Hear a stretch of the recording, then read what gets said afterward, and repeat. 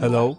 Today I would like to tell you about a feature of our own development, the inext STB's remote control application for smartphones and tablets. The application is available in App Store and Google Play.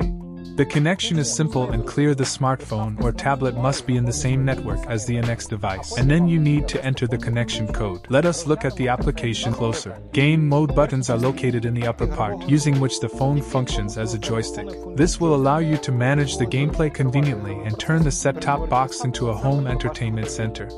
The keyboard mode will allow you to quickly and effortlessly enter search queries, such as names of movies, etc. The set top box can be controlled via a trackpad or a joystick. Below are the media buttons, start and pause, mute, and volume buttons. The application allows you to use voice search.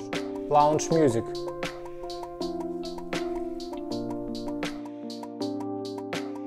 Select the device to which you want to connect. To call a special digital layout, use a separate button. All links to download the application will be placed in the description for this video. Our app is designed exclusively for inext devices. Thank you and wish you all the best.